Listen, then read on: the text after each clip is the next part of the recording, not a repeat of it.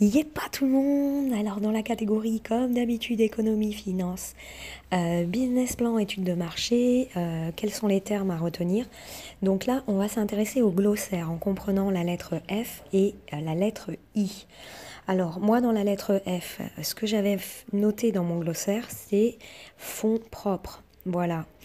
Pourquoi les fonds propres J'avais noté, ça me paraissait important de comprendre parce que ça constitue la base d'une trésorerie. Et notamment, stratégiquement, la base d'une trésorerie saine.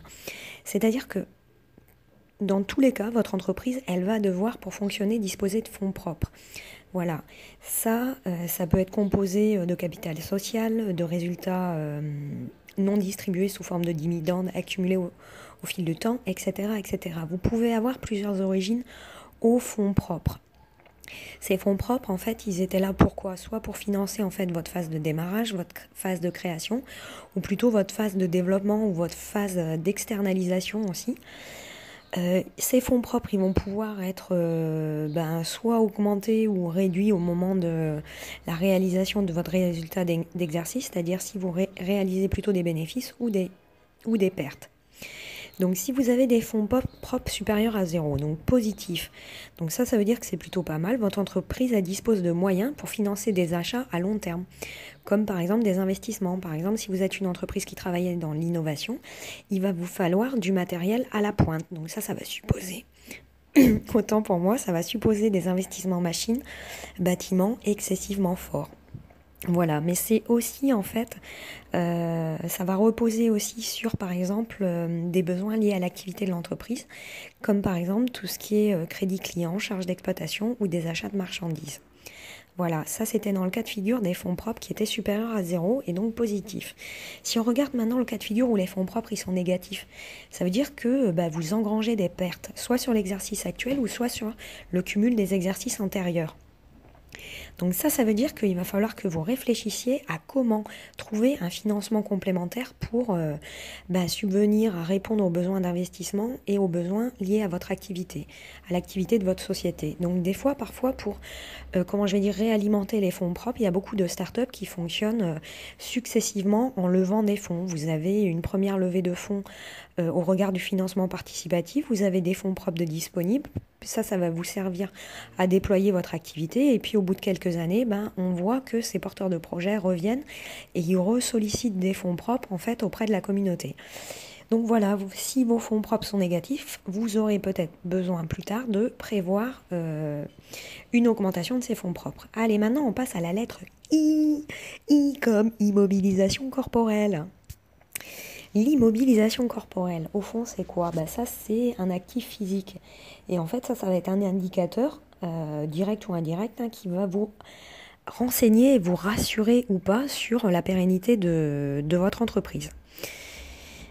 Donc, vous pouvez les utiliser, on va dire, ces actifs physiques, euh, dans la production de vos biens et de vos services ou euh, vous allez pouvoir les utiliser plutôt euh, d'un côté administratif ou fonctionnel, technique, vous avez besoin de matériel informatique, ou euh, ça peut être des immobilisations corporelles, et ce qu'on appelle une immobilisation corporelle, ça peut être aussi la location de, de locaux à une société tiers, par exemple.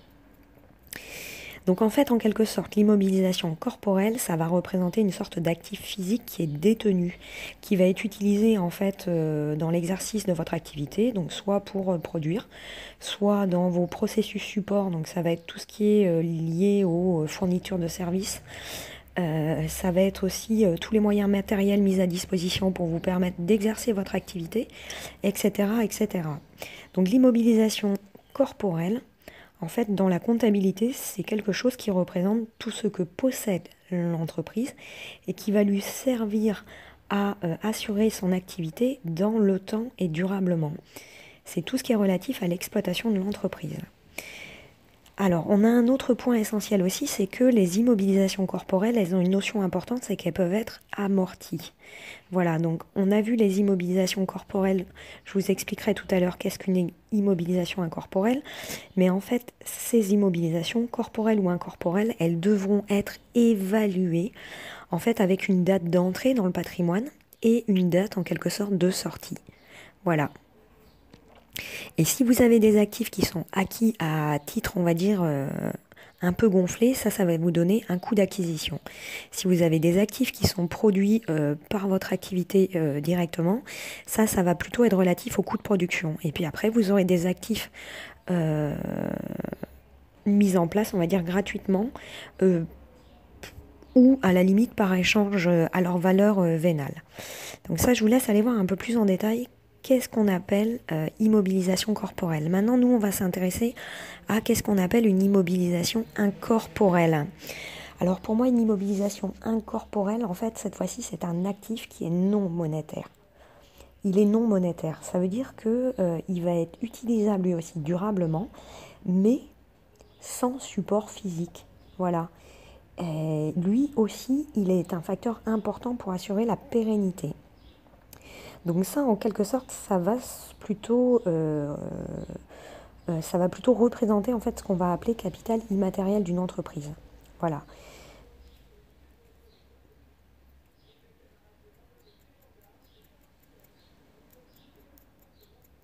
Voilà, en règle générale, le capital immatériel d'une entreprise, il peut euh, représenter quantitativement euh, des, valeurs importantes de la, enfin, de la valeur d'une entreprise. Il peut représenter 30% en fonction de votre activité, 60, 70%. Donc en fonction de ce qu'il va représenter, il va être important de bien bien les lister et bien les définir. Voilà pour pouvoir justement évaluer justement l'impact des immobilisations incorporelles sur la pérennité de votre structure. Parmi les immobilisations incorporelles, on va euh, citer par exemple en fait tout ce qui est euh, fonds commercial, le droit au bail, les brevets, les licences, les marques déposées, euh, les logiciels, etc. Vous allez avoir la partie recherche et développement si elle est importante, puis des frais d'établissement pour fonctionner, etc., etc. Donc voilà pour la définition des termes en I. Allez, je vous abandonne. On aurait pu rajouter des termes également importants à mon sens comme la notion d'inflation, d'intermédiation bancaire, etc., etc. Je vous laisse étayer votre glossaire par vous-même également. Allez, je vous dis pas, à bientôt pour la lettre L. Voilà. Allez, à bientôt